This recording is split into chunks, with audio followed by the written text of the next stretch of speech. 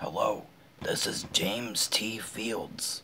He was a publisher, editor, and poet that lived between 1817 and 1885. He co founded Ticknor and Fields